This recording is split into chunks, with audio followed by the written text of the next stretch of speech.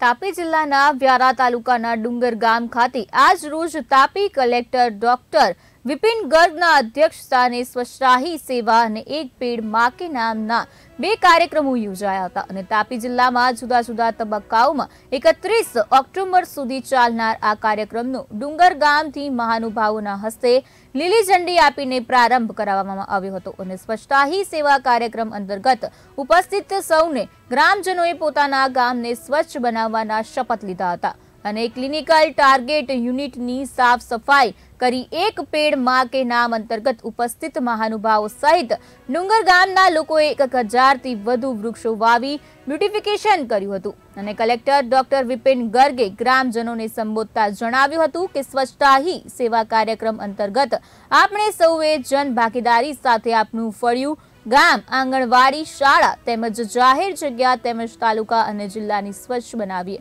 જિલ્લા ગ્રામ વિકાસ વિભાગ દ્વારા સ્વચ્છતાની ઝુંબેશ હાથ ધરવામાં આવી છે અને સૂકો કચરો અને ભીનો કચરો અલગ અલગ કરીને તેની વ્યવસ્થા કરવામાં આવી છે અને ત્યાં જ નાખીએ સૌથી વધુ સમસ્યા પ્લાસ્ટિકની છે જેથી નોન પ્લાસ્ટિક જુદું કરીને કચરામાં યોગ્ય નિકાલ કરવાનો છે.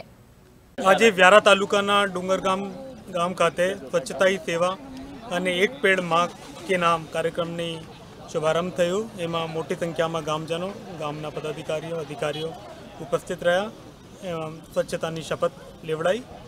એક હજારથી વધારે વૃક્ષોનો આજે વાવેતર થયો અને તમામ લોકોએ ખૂબ હર્ષોલ્લાસ સાથે આ કાર્યક્રમે ભાગ લીધું. એકત્રીસમી ઓક્ટોબર સુધી સ્વચ્છતા સેવા કાર્યક્રમ ચાલવાનું છે. એના સાથે જ આજથી જ જિલ્લાના સાતના સાત તાલુકા અને બે નગરપાલિકાઓમાં સેવા સેતુ કાર્યક્રમના પણ શુભારંભ થઈ રહ્યો છે અને એ કાર્યક્રમ પણ ચાલશે તબક્કાવાર. અને એમાં કુલ મળીને પચીસ જેટલા સેવા સેતુ કાર્યક્રમ તાપી જિલ્લામાં યોજાશે, જેમાં ચોવન પ્રકારની સેવાઓના લોક મફતના એ દિવસે લાભ લઈ શકે થેન્ક યુ